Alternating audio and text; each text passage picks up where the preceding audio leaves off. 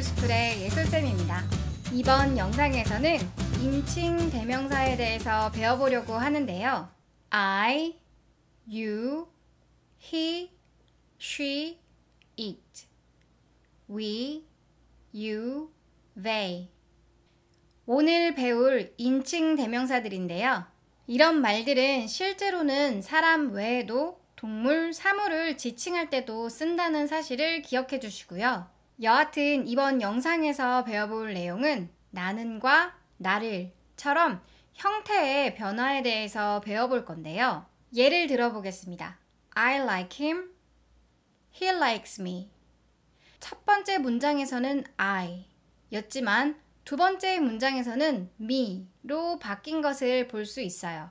이렇게 subject, 주어일 때와 object, 목적어일 때 모습이 달라지는데요. 주격, 목적격이라고도 하고요. 사실 이런 용어들은 도움닫기예요. 정말 중요한 거는 이런 말들이 여러분 입에서 자연스럽게 나오는 거랍니다. Personal pronouns as a subject. 인칭 대명사 주격이에요. I, you, he, she, it.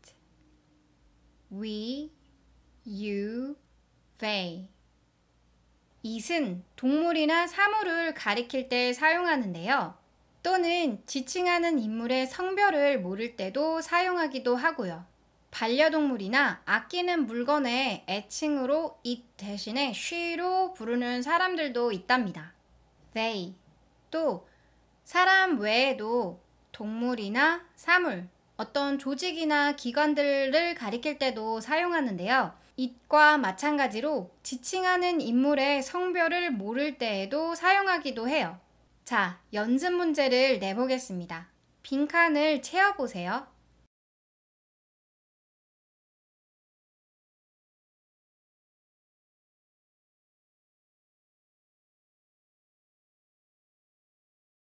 정답을 한번 읽어보도록 하겠습니다.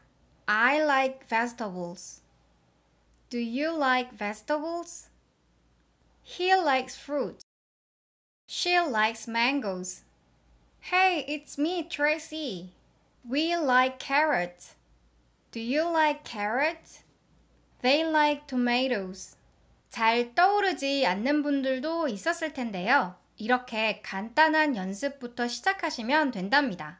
Personal pronouns as an object. 인칭 대명사 목적격이에요.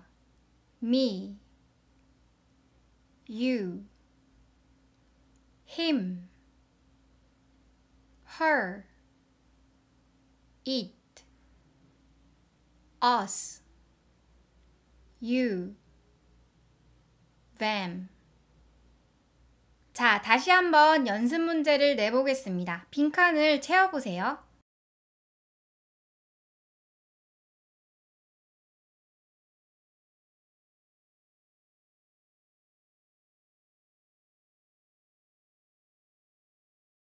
정답을 읽어보도록 하겠습니다.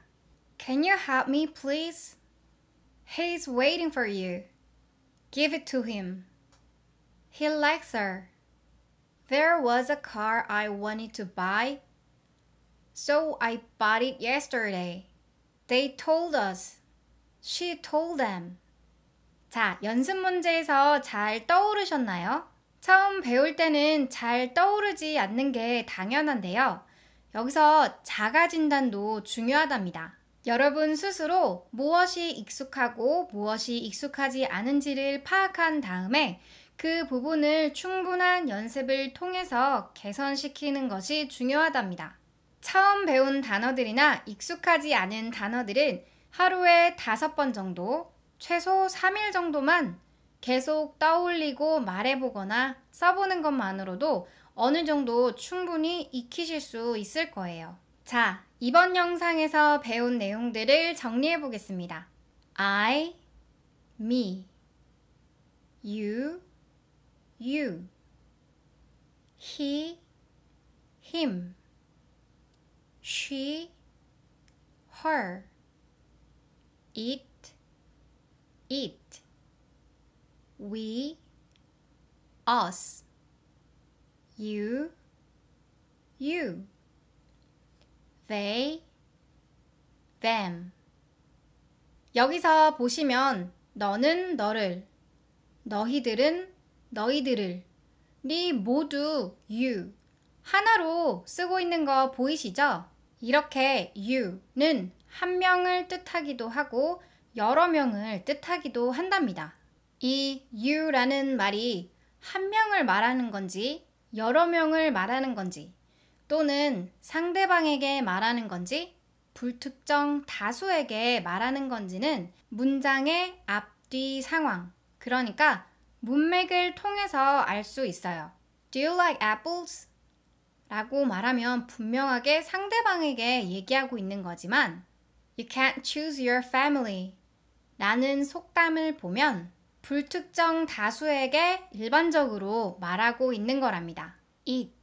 슬, 그것은 그것을 이라고 써놓기는 했지만 사실 한국어로는 잘 해석하지 않는 편이에요.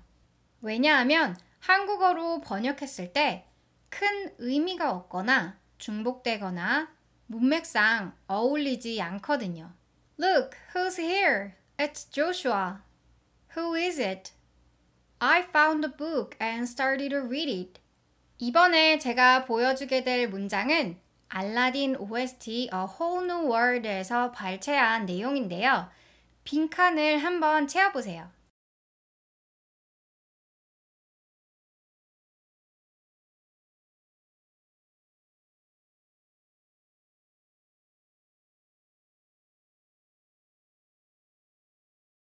정답을 들어보겠습니다. I can show you the world shining, shimmering, splendid. Tell me, princess, now when did you last let your heart decide? A whole new world, a new fantastic point of view. No one to tell us no or where to go 자, 끝으로 문법적인 내용으로 좀 정리해 보려고 하는데요. 여러분이 수업 시간이나 다른 강의에서도 이런 내용을 들을 수 있기 때문에 참고할 수 있도록 문법적인 내용을 정리해 보도록 하겠습니다. 말하고 있는 사람, 즉, 화자를 the first person, 1인칭이라고 해요. 여기에는 당연히 말하고 있는 사람인 I, 나와 나를 포함한 우리인 we가 포함되고요. 듣고 있는 사람, 즉 청자를 the second person, 2인칭이라고 하는데요. 바로 여러분, you인 거죠. 그리고 말하는 사람, 나도 아닌, 듣고 있는 사람, 너도 아닌 제 3자를 the third person, 3인칭이라고 해요. 여기에는 그, 그녀, 그것, 그것들이 포함되는데요. he, she, it, they.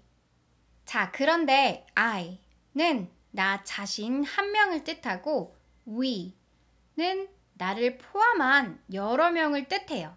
you는 상대방 한 명을 뜻할 수도 있지만 여러 사람을 뜻할 수도 있고요.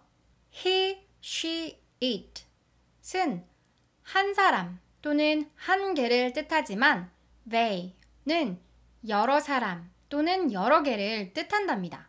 이렇게 한 명 또는 한 개인 것을 singular, 단일한 수, 단수라고 하고 두 명 또는 두 개 이상인 것들을 plural, 겹치는 수, 복수라고 해요.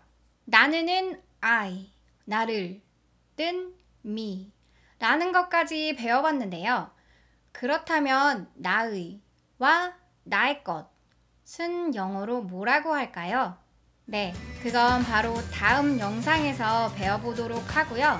이번 시간도 즐거운 시간 되셨길 바라며 저는 다음 영상에서 인사드리도록 하겠습니다.